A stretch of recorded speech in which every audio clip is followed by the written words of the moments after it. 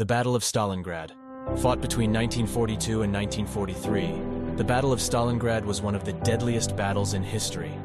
The Soviet Union successfully defended the city against German forces, marking a significant turning point on the Eastern Front.